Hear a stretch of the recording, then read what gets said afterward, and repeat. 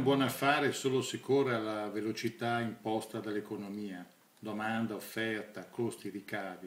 Tutto il contrario delle organizzazioni criminali che impiegano troppo tempo a capire che un'attività non è più remunerativa e ci rimettono soldi e uomini. Ai cattivi ragazzi di Leeds interessa solo il denaro. Ma in realtà non è esatto. La loro ambizione è correre più veloce di tutti, inebriati dal respiro corto della sfida.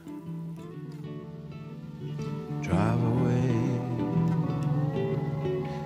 As in lonesome sound like a real straight shooter. Three lanes full